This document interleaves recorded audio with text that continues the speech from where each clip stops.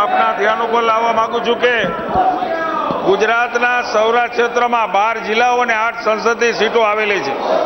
માન્ય અધ્યક્ષશ્રી, આ વિસ્તારમાં મોટા, નાના અને સક્ષમ ઉદ્યોગો પણ આવેલા હોવાના કારણે વસ્તીનું પ્રમાણ અન્ય જિલ્લામાંથી ઘણા લોકો મજૂરી અને રોજગારી માટે આવતા હોય છે.